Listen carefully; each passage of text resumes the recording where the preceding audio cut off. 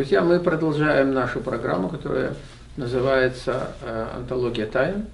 Э, меня зовут Майкл Мелехов, руководитель центра «Сангейтс». Рядом со мной Владимир Гальштейн, э, публицист, писатель, автор передачи «Антология тайн». И мы сейчас говорим, вторая часть, загадочный перевал Дятлова, гибель девяти восходящих альпинистов.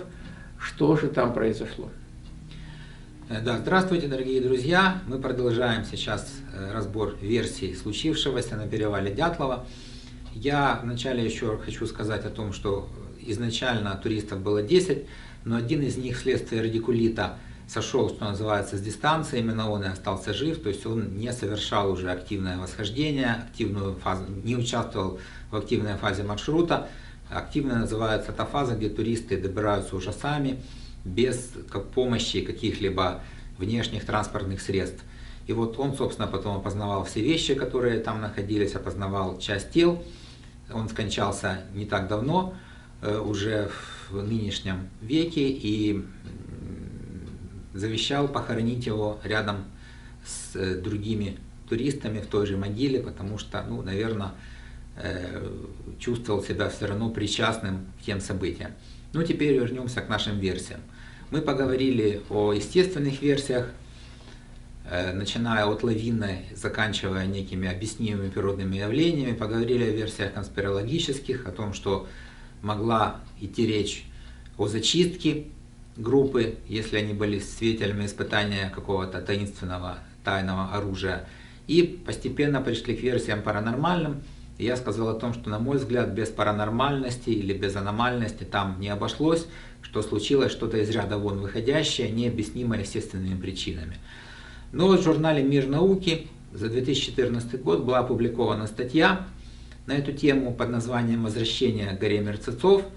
И там, э, в этой статье, описывалась новая теория о том, что причиной гибели группы Дятлова могла стать так называемая вихревая дорожка Кармана, возникшая вследствие формы горы Халачахаль. Это вот самая гора мертвецов – Э, это еще одно ее название, Антертен, вот еще другое. Гора имеет симметричную куполообразную вершину, что создает идеальные условия для появления вихревой дорожки Кармана. В аэродинамике метеорологических явлений небольшие торнадо возникают, когда ветер, дующий с определенной скоростью, встречает на своем пути препятствие необтекаемой формы с определенной конфигурацией и размерами, такое как купол горы мертвецов. Ну, здесь частично идет речь о, так сказать, естественном явлении, о неких вихрях, которые могли возникнуть, а частично, скорее всего, вот по моему мнению, там имели место еще некие, ну, аномальные, скажем так, вихри. То есть что-то случилось на уровне энергетики, тонкой энергетики этого места, где, как мы говорили в прошлый раз, э, портал отрицательной энергии. И вот теперь представьте себе ситуацию – Ночью, когда туристы уже легли спать, вдруг возникает некая сила, которая частично отрывает от земли тех, кто лег спать, какие-то вот вихри, вот эти вот тонкие вихри энергии, переворачивает их в воздухе, бьет о землю. Человек, который вышел наружу, очевидно, стал свидетелем того, что вот все это происходит и снаружи, и, возможно, какие-то увидел еще э, светящиеся эффекты, и, так сказать, призвал всех к тому, чтобы они срочно покинули это место, а покинуть можно было очень быстро, только разрезав палатку, иначе нужно было долго из нее выбираться. Все в панике выбираются оттуда, и это явление продолжается и на следующий день, и настигает их, причем они совершенно не понимают, что происходит, потому что это все могло сопровождаться еще и инфразвуком, вызывающим у людей ужас, как известно, вот, если речь идет о Бермудском треугольнике, то под воздействием инфра инфразвука люди там даже покидали, просто бросали за борт кораблей, а потом эти корабли превращались в летучие голландцы. То есть все это такая общая комплексная картина негативного энергетического воздействия, которая продолжается на протяжении ночи и следующего дня, еще следующих суток. И здесь нет никаких э, внешних э, сил военных, каких-то спецгрупп и так далее, и так далее, а есть вот некое действительно не, некие неисследованные природные явления, оказавшие такое страшное воздействие на группу. Ну, я знаю, Майкл, вы тоже что-то хотели еще добавить от себя. Да, есть э, очень много совпадений. И вот э, в первой части я говорил о том, что есть такая гипотеза, которая связана, то есть эта гора, ну, во-первых, гора мертвецов, ее так обиходное, что ли, название, на самом деле, что там, почему ее так назвали. То есть предыстория была такова о том, что там погибли люди. Э, задолго до этого погибли люди, их было 9 человек. Интересно, что э, если вот эти шестерки перевернуть э, наоборот, то мы получим девятки все. А число 9 э, это тоже очень и очень серьезное эзотерическое, будем так говорить, число. И очень много есть традиций, связанных с девятками. И, в общем-то, считается, что девятки, они так, в каком-то смысле не такие уже благоприятные Э, число благоприятствующее. Ну, во-первых, это Марс. Марс это бог войны, это какие-то, в общем-то, э, скажем, гибель, то, что связано с людьми в том числе. Э, и вот э, было 9 человек, которые погибли. Далее, 9 человек, э, как мы знаем, э, погибли на перевале Дятлова во главе с самим Игорем Дятловым, но был 10 человек.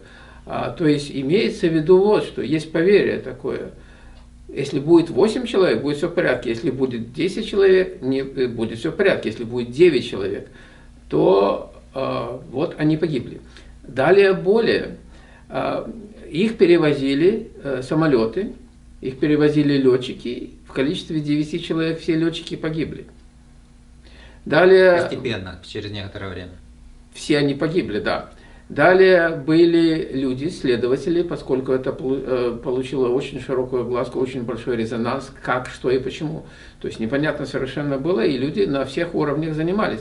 Их было 9 следователей, они погибли. А, было 9 патологоанатомов, которые это все делали. Они тоже погибли по разным причинам, а, каждый в свое время, но в течение э, какого-то некоторого э, времени. То есть все эти люди соприкоснулись да, дальше в 61-м, это было в 59-м году, в 61-м году там были, в той зоне были геологи, а, примерно в том же месте. И вот их было 10 человек. Десятый, один из этой группы пошел купаться в озере, и когда всего лишь, вот это за время купания он пришел обратно, он увидел такую же картину, то есть люди погибли. Как, что, почему, совершенно непонятно, ничего никто не знает, еще раз гипотезы разные есть. Ну, одна совершенно невероятная гипотеза, которую мне хотелось бы сказать, это совсем уже, ну, не знаю, эзотерическая, не эзотерическая, э, невероятная, она восходит своими истоками в древний, древний, древний опус, э, эпос. Значит, когда-то э, была такая история, связана с демонической личностью под названием, это в Ветах описывается, под названием, эту личность звали Равана – ну, как мы знаем, есть э, очень известная история э, Сита Рама, э, бог Рама, и у него была его жена Сита, которую Равана украл. А Равана был демоном, который получил бессмертие от самого бога Шивы. А, но бессмертие он получил условное. То есть речь шла о том, о том, что он не может погибнуть от руки а, никого, кроме человека. Но поскольку он был всесилен, то человеку это было не помеха. А, но история была такова. Он подчинил, его боялись даже полубоги в свое время. Еще раз, я прошу прощения за то, что мы как бы совсем э, Ушли немножко от, от, да, отвлеклись в сторону. И опять же, это очень невероятная версия, но дело вот в чем. А, он был практически властелином не только мира земного, он был властелином еще и небесного, поскольку он обладал качествами, а, тогда люди умели э, многое. Э, то есть они и летали в том числе и так далее. То есть его боялись даже полубоги. Короче говоря, он настроил по всей земле, в то время, это было очень давно, а, он настроил такие излучатели, которые, цель которых была подчинить весь мир своему влиянию. То есть в момент скажем, э, нажатия кнопки, все люди получали какие-то совершенно импульсы, это какого-то ужаса. Мы это видим фильмах фантастических, это описывали даже Стругацкий, фильм был э, создан, когда просто вот эти излучатели, они по всей Земле через какое-то время, там место, точнее, расстояние, они стояли, и они подчиняли своему влиянию абсолютно всех людей, которые попадали в эту зону э, людей. А, короче говоря, что такое вот это место? Мы говорим про Урал. То есть, во-первых, это Аркаим. Как мы знаем, Аркаим – это место силы. И это город, который древний. И туда приезжает очень-очень много людей, и просто туристов приезжает очень много исследователей. Что-то там происходит, там какая-то зона очень интересная. То есть э, там этот город, имеющий форму прямоугольника, вписанная в круг. А, и вот это место, Урал, э, туда, э, в общем-то, считается по преданиям, когда было две цивилизации, дравидийская и лемурийская, и одна из них погибла, потом было аномальное явление, то есть смещение полюсов, и вот пошла миграция. И по одной из вот версий, э, ну, скажем, и потомки, в том числе этих цивилизаций, арии, они обосновались вот на Урале, и там находится вот такая вот аномальная зона – поскольку ну, там что-то находится, короче говоря, под землей, и возможно, еще раз возможно, повторяю, один из вариантов, э, описываемый не вот этими материальными, скажем, там, то, что версиями, которые все мы пользуемся, а, там находится излучатель, очень мощный излучатель, так, такой же, как и находится там на горе, скажем, Кайлас примерно. Вот, пирамида известная там Атлантов, там мы знаем кристалл Э, которые вот наводят такие излучения, и одна из версий, возможно, попали туда вот эти люди под воздействием этого излучения.